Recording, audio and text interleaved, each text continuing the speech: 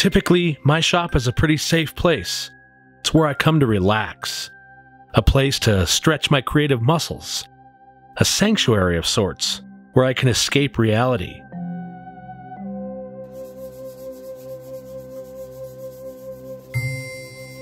That was at least until Halloween night.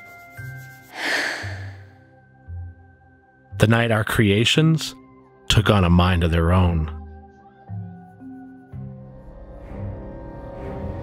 The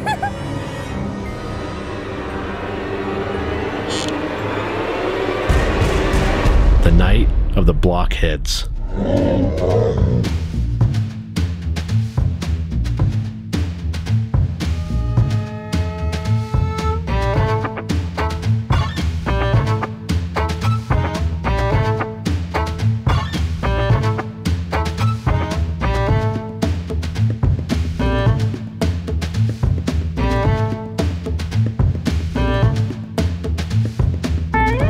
Before this night, I would never have believed my wife would have intended for these creatures to come after me. I mean, the health insurance money can't possibly make her laugh as much as I can, right? But then again, I guess I should have been aware of not only the meticulous way she was building these blockheads, but the evil look in her eye whenever I entered the room.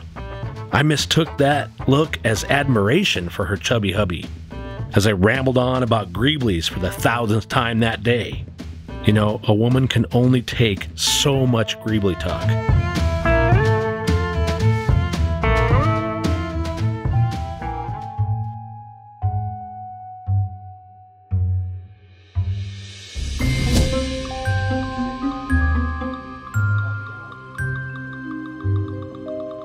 Hey, little fella, she did a good job on you.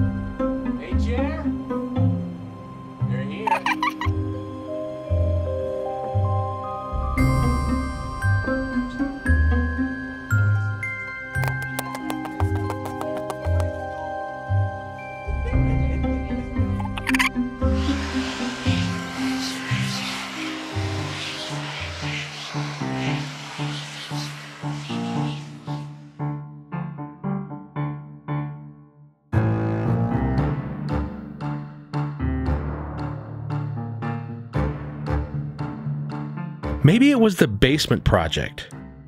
Maybe when she asked if I could keep it in the corner, and then I went ahead and expanded the project to the entire basement when she was out of town working, maybe that's what did it.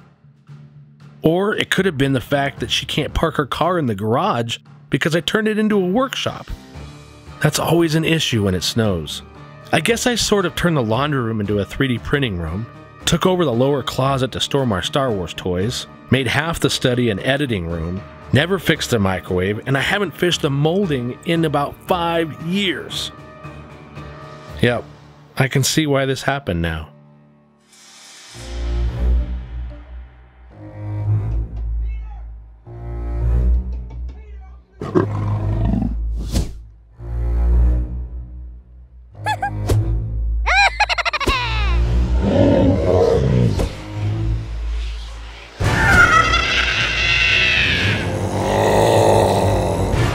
Not greebly worm.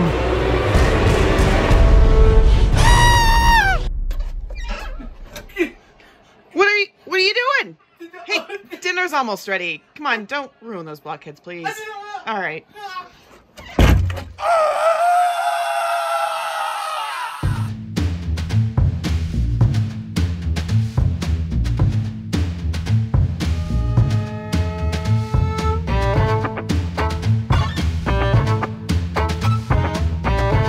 So take my advice, makers. If your spouse decides to build cute little Halloween blockheads, at least fix the dang microwave. It might save your life.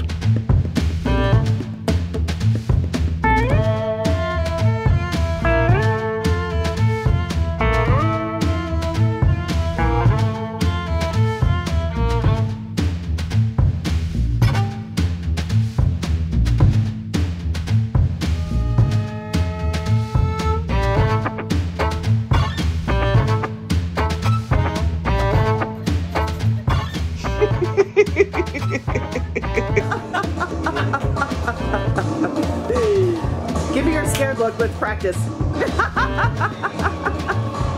I don't know what the scared look is. Do it again.